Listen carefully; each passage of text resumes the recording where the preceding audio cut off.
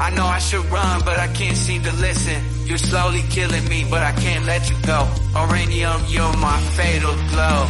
Radiated with love, but also with danger.